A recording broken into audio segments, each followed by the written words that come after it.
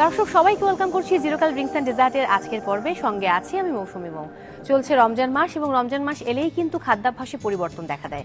বিশেষ করে সেহের এবং ইফতারে স্বাস্থ্যকর খাবার খাওয়াটা খুবই জরুরি।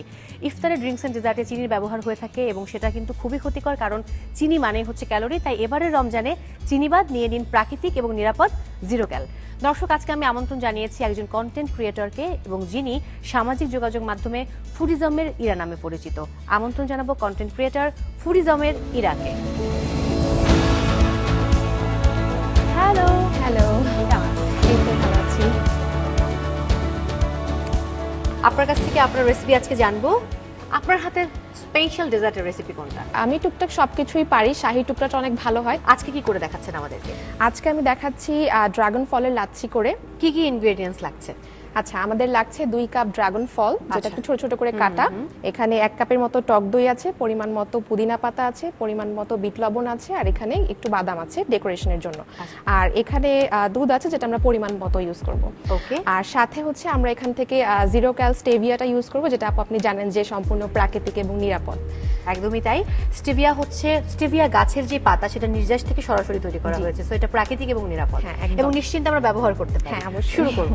আচ্ছা। তো প্রথমে আমরা এখানে আগে ড্রাগন ফ্রুট যতটুকু আছে পুরোটুকুই দিয়ে দিব। আচ্ছা দু কাপ পরিমাণ। হ্যাঁ দু কাপ পরিমাণ।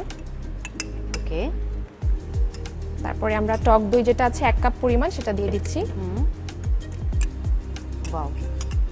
আর একটুখানি পুদিনা পাতা দিতে হবে ফ্লেভারের জন্য হ্যাঁ। মিন্ট লিপটা খেতে পারে বা তার মতো, ঘ্রাণটা হ্যাঁ, ভালো লাগে হ্যাঁ, সেই হ্যাঁ। পরিমাণ দেবে। সেই পরিমাণ মতো। আর একটুখানি বিট লবণ দিব। হুম।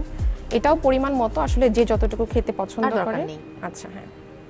এবার মিলটা আচ্ছা আর এটাও আমরা অর্ধেকটা দিয়ে দিব যেহেতু বললাম পরিমাণ মতো যে যতজন আসলে খাবে ওই অনুযায়ী দিতে হবে।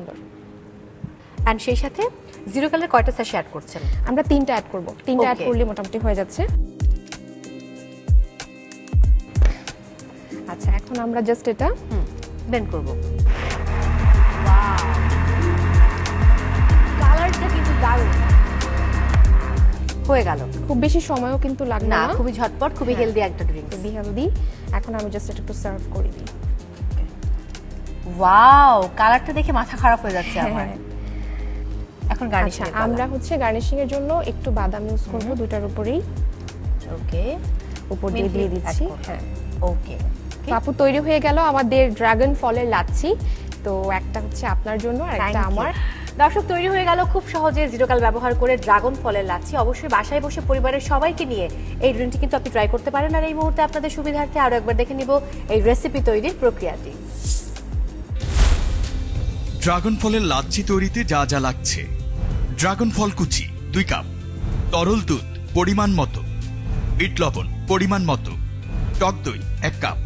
পুদিনা পাতা, পরিমাণ মতো। বাদাম কুচি, পরিমাণ মতো। জেরোকেল স্টেভিয়া তিনটি স্যাশে জিরোকেল স্টেভিয়া সহ সব উপকরণ ব্লেন্ডারে মিশিয়ে গ্লাসে ঢেলে পুদিনা পাতা ও বাদাম কুচি দিয়ে পরিবেশন করুন ড্রাগন ফলের লাচ্ছি।